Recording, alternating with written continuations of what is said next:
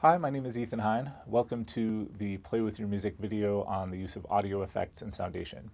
Audio effects are things like reverb, delay, EQ, compression.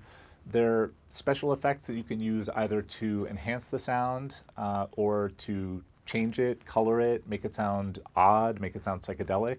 We're going to be exploring all of those things. So I have a blank Soundation session set up, and we're just going to drag in some loops and apply some effects and see how they sound. So I'm going to use this sample called 90 beat MPC smooth. It's sort of a generic hip hop loop. I'm going to drag it into my track here. And I'm going to loop it because we're going to be wanting to hear it over and over again. So here's the loop.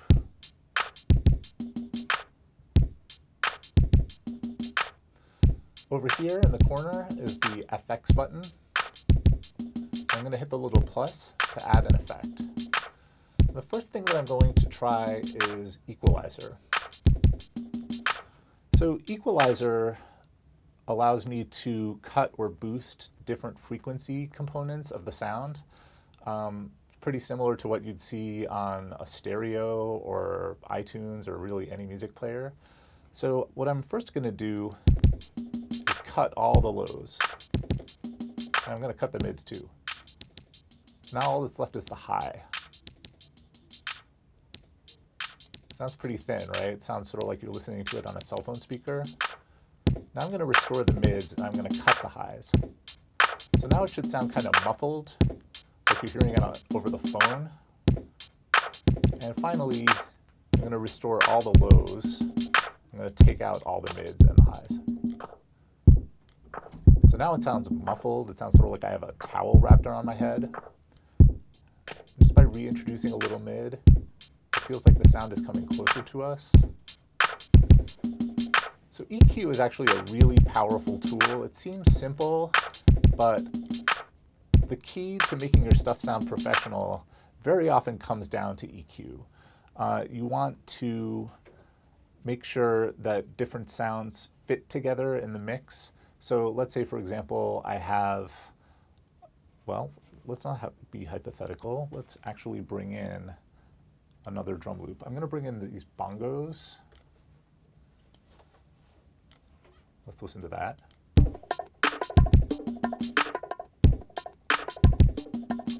So if I wanted these two sounds to be more distinct from one another, I might cut out the highs from my hip hop drums because the congas are pretty high pitched to begin with.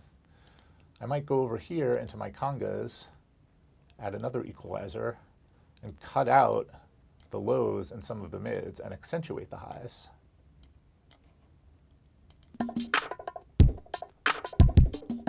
Yeah, so now the drum machine is sitting in the low end and the congas are sitting in the high end. And that way I can make both of them louder without having them compete with each other.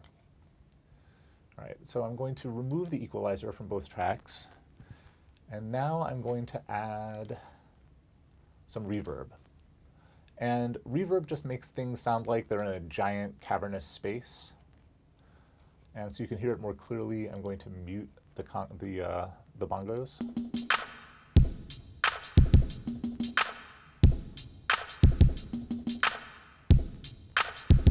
So you can hear, right, how, uh, how now my drums sound like we're in some sort of giant cathedral. There are different presets. I'm to choose huge tail, which is really over the top. Right now it sort of sounds like we're in a dance club in the Lord of the Rings. This is a little over the top. Usually with reverb, less is more. Okay, so I'm to remove the reverb. Now I'm going to mute the drums and just have the congas be separate. And I'm going to add an effect called compression. So compression takes the, uh, the loudest parts of the song, these peaks, and makes them quieter. Uh, the point of compression is actually to make things louder. It's a little bit contradictory, but uh, think about think about it this way: the conga is is uh, mostly silence except for these peaks, And if I want the quieter parts to be more audible and I just turn the whole thing up, the peaks are going to start distorting. So instead, if I put compressor on there, the peaks will be quieter, but then I can turn the whole thing up overall without the loudest parts being excessively loud. And compression is especially important for things like vocals, bass, acoustic guitar, stuff that might easily get buried underneath louder sounds like electric guitar or keyboards or drums. So here's how the congas sound with compressor. And I'm going to turn the ratio all the way up. Let's try one of these presets.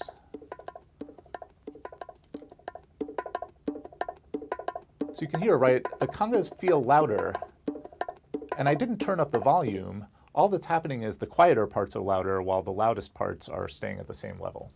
So again, very, very useful for things like upright bass or acoustic guitar. The next effect and probably the last one that I'll talk about in this video.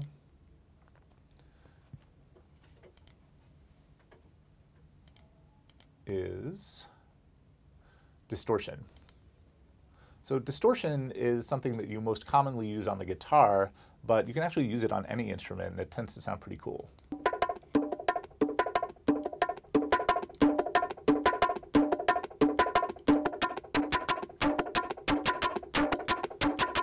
Right? So now,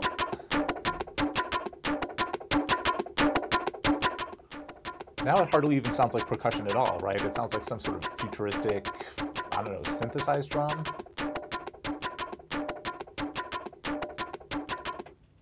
So there are all kinds of other effects in here. And the best thing to do is really just go through systematically and try them one at a time.